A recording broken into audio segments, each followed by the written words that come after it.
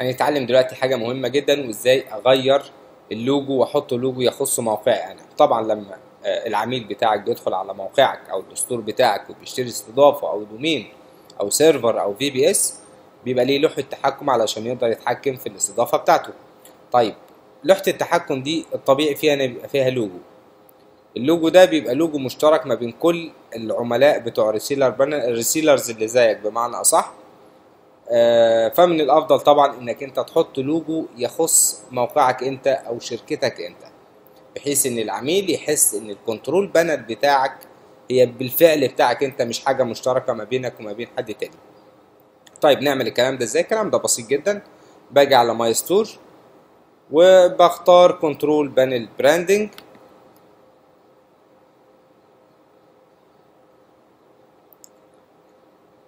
بيفتح لي الصفحة اللي أقدر من خلالها أغير اللوجو. طبعا الصورة اللي إحنا شايفينها قدامنا دي دي صورة ال control panel بتاع العملاء بتوعك. لما العميل بتاعك يفتح account عندك ويدخل على ال control panel بتاعه بيبقى هي الشكل ده. طيب إزاي أغير اللوجو؟ فين اللوجو؟ ده اللوجو اللي هو حرف ال H ده وجنبه إيه؟ Hepsia control panel. ده اللوجو ال default بتاع كل الناس. طيب أنت المفروض تغير اللوجو ده وتحط لوجو يخص اسم شركتك أنت.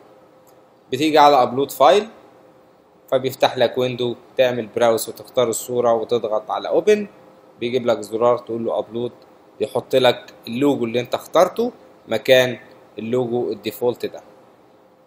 ومش كده وبس.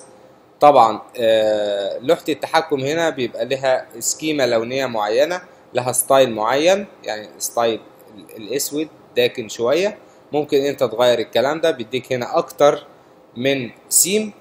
ده السيم الافتراضي بتاعنا ممكن تغيره الازرق في درجة تاني من الأزرق في درجة الأحمر. آه، في كذا آه، سيم ممكن أنت تختاره تخلي لوحة التحكم بتاعك تبقى بالسيم ده أو باللون ده. وبكده تبقى أنت آه، حسست ال user بتاعك إن لوحة التحكم دي حاجة تخصك أنت.